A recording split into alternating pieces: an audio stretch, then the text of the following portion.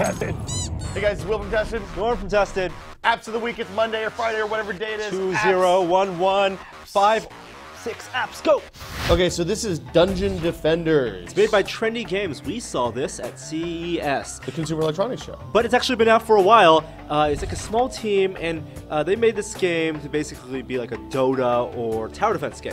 My Eternia Crystal, it is under attack. Oh, you must defend it. I'm going as fast And as also, I it is in a dungeon. This is actually a cross-platform game, but not. I don't think for the iPhone version. I think the Android and PlayStation 3 versions use GameSpy. Die, die, And die, the die, iPhone die, version die, you can play with other people on iPhones or iPads. Uh, so, h- how do you play? Uh, basically, it is like Dota. So you have a hero that you carry, you drive around. At the beginning of each wave, there's a setup phase, so you can take uh, credits you've earned, mana, and all that kind of stuff, and build defenses, towers, stuff like that. And uh, then you start the wave, and when you start the wave, then uh, you know you have to defend your stuff against the wave. Very straightforward, pretty fun. I played Yeah. a little bit on the iPad last night. It's you know it's a little bit more involved than most phone games are, which is uh, both kind of a good thing and a bad thing, I think. Looks like there are a lot of attributes and weapons and spells and abilities. I do like that you have that virtual joystick on the Android version that I was uh, trying out on the tablet at CES. There was no virtual joystick. I actually had to, to tap in the direction of the sc- on the screen to make the character move. But I like the virtual joystick for this. Yeah, the virtual joystick's pretty good. It, uh, honestly, this game works better on the iPad than on the iPhone. I played quite a bit on the iPad last night, and it yeah, was looks a like much right better now experience. 30% HUD at least. It is. There's a lot of shit going on on the screen for an iPhone game, uh, but it's universal, so it's like $2.99, and you get both versions. Uh, Dungeon Defenders, I, I'd say check it out for three bucks. It seems like it's a, a worthwhile diversion. Okay, so this is Rdio. Rdio, that sounds like Web 2.0 spelling for radio. Yeah, they omitted a vowel, which is always the tip off. Uh, Rdio is basically a music rental service. So it's the kind of thing you pay five or ten dollars a month for, depending on which features you want. And then, of course, you can access uh, whatever songs you want that they have on their service. And it's not a massive collection, but it's it's been pretty big so far. You can listen to whatever you want, as much as you want, uh, for that flat fee every month. So it's much like a Zune Pass, but it actually works on the iPhone. Works on the iPhone, works on Android, works on a bunch of other uh, services. So why would I want to pay ten dollars as opposed to five dollars? Well, what you get for $10 is the ability to bring songs down into your collection and sync them mobily so they'll work even when your phone's offline. So if you don't have good 3G service where you're driving or you don't have a big data plan, then you can use this to actually download the songs you listen to the most when you're out and about directly to the device. It'll play them off of the phone.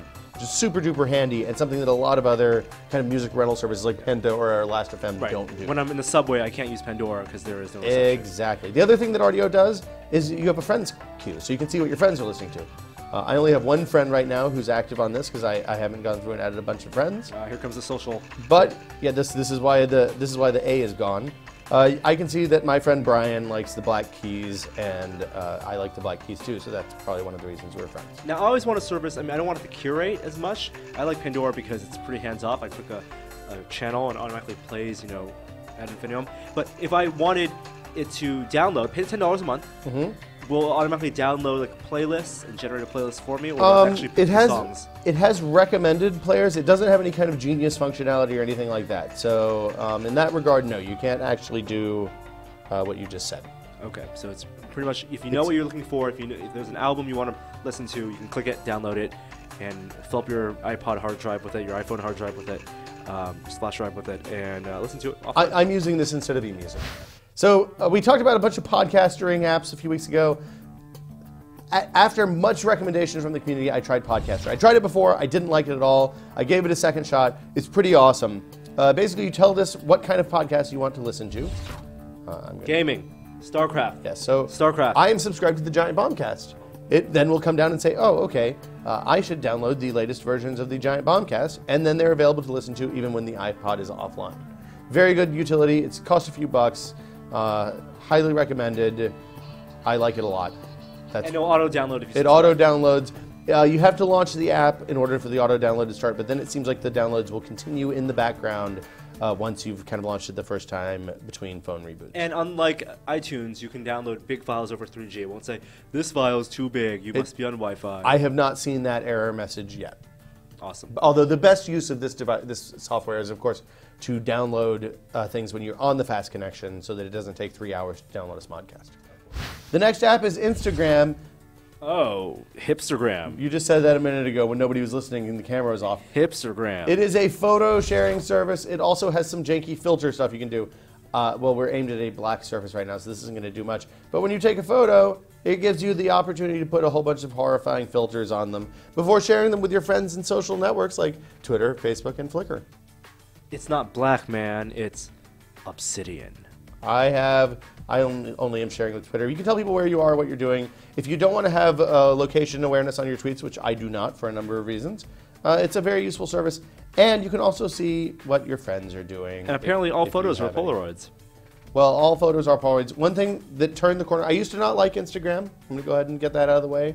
Once I realized you could also save the original aspect ratio and unfiltered janky ass pictures, I realized it was pretty cool. Uh, so you can see, you know, all the kind of stuff. That you, oh, look, there's a picture taken by me of Anna, Joey, and Norm. Joey looks like he's been kidnapped. Instagram. Okay, so Momento is a journaling app. I'm to hide my secret passcode here. One one one one. Four Damn four it. four four. Uh, what it does is it mines your social feeds. It's looking at my Twitter feed here to see things that you might be interested in. Then you can use that as the kind of prompting cue to keep a journal. So, for example, I wrote on Monday, the 10th of January, so tired but about to see some awesome stuff. A bunch of people responded, and I added a note in here somewhere, if I can find it. Keep going. I, wow, I tweet a lot. I added a note. Uh, it's really straightforward. It's kind of neat. If you're into journaling, that's good. I'm not really a journaling kind of guy. I don't even know what journaling is. I think it's like blogging, but privately. Okay. So, um, you know, for example, after having a tweet that said, "Hey, I'm really, really very tired" at 2:28 a.m. on Saturday or Thursday, I, I made a note in my Momento journal that said, "Hey, Thursday was a really good day. I worked like 20 hours, but you know, hey, So basically, it's taking all your tweets that you do on the on the spot and Yes. actually uh, organizing them in some way so you can make use of them later on. Exactly, and it'll, I think it'll sync to Facebook and Twitter. It also looks at your Flickr stuff, so it'll pull photos that you post and stuff like that in. It's a pretty cool service. It's not groundbreaking. It's like three bucks. It's worth checking out if you're into journaling. Apps of the week, the first one of the year. Holy bananas! Yes, those are five great apps. But wait, there's more. What? I think we have to go outside for this. Outside. Outside now.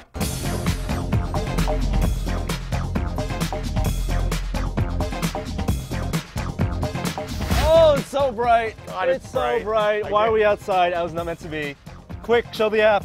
This is 360 panorama. It lets you take 360 panoramas by spinning the camera around. Watch. I'm panoramizing. Norm is there. Don't move. Whoa. So the app is hold on. stitching a panorama in real time Hold on. Oh, it doesn't quite line up right. I should have done this. as Will turns the camera I'm getting around. really tangled up in microphones. And so, as opposed to taking Okay, doing the top now. 20 photos Oh yeah, I- stream I've of photos, fucked this up really stitch. bad. But if you do it slow and not on camera, it's pretty awesome.